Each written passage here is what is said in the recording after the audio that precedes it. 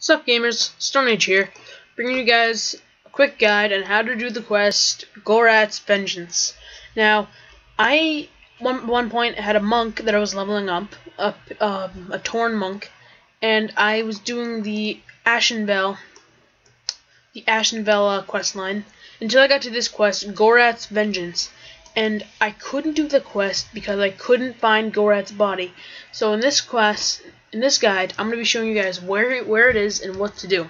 So if you're at the outpost like this, in the Horde, you're going to come over here, try not to get pulled by any mobs, and um, go through here. It's He's actually not at the lake.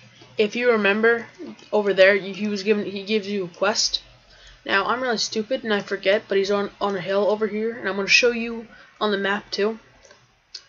So if we come over here, this is Gorat.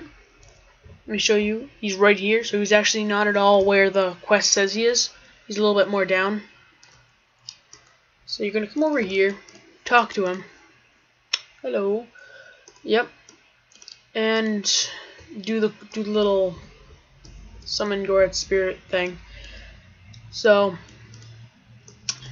this was a really difficult thing for me to do because I require the map showing where the quest is a lot, and with the map all messed up and not even showing you where it is, then it really messed me up and it wasn't wasn't really useful. I might submit a ticket through WoW, or you could if you want. But I hope this guy will help you. From here on, you just have to kill him. But I hope this guy helped you. And I'll see you guys later. Bye. Thanks.